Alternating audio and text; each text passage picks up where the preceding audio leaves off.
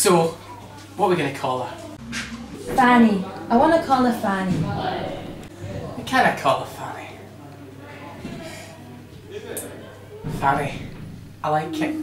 It's unique. Mum's a Fanny. Granny was a Fanny. You're joining a long line of Fannies. Good to keep with tradition